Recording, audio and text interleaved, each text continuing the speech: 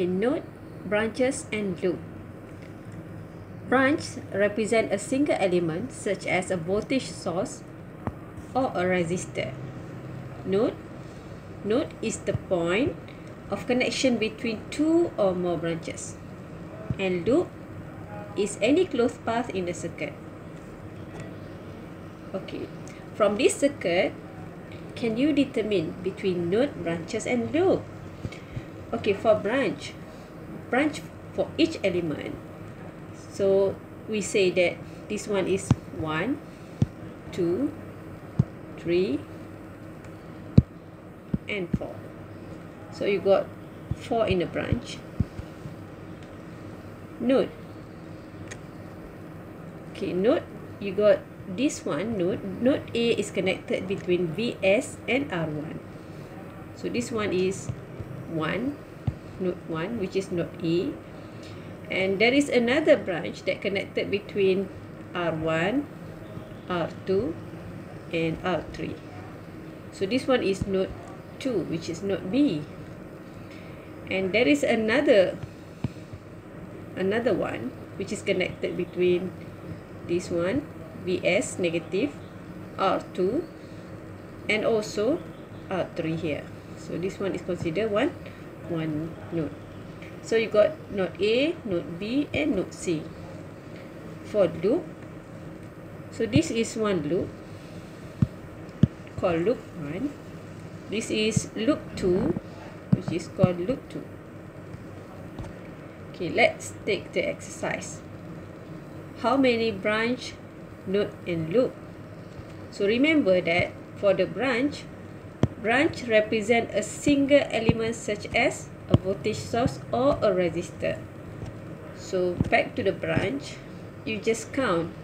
This one is one two three four. So in branch you got four. Right? For node so how many node? So this one voltage connected to node A and resistance 6 ohm. So for node you got node A. So this one connected to this one and connected to this one node B. And then node C is connected between voltage source resistance 12 ohm and resistance another 12 ohm. So you got three node which is node A B C. So node you got three node and loop how many loops? So this one in one loop. Positive going here and then here and then back here. And then this loop is current going this way. So you got loop 1 and loop 2 and for loop you got two loop. Okay next. Do the exercise. How many branch you have? So count one two three, four, five, six. So for branch you have six element. So how many nodes?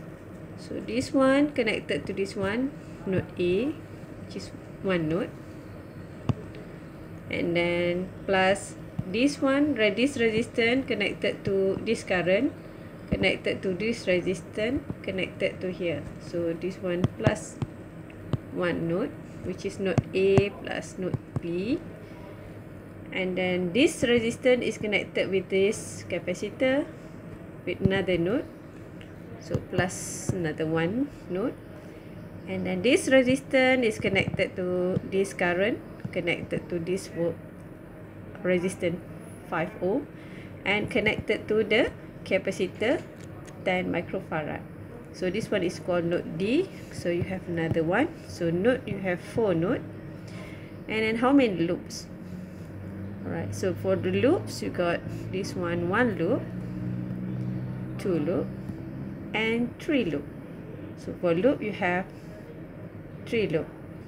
So for this circuit you have six branch four node and three loops thank you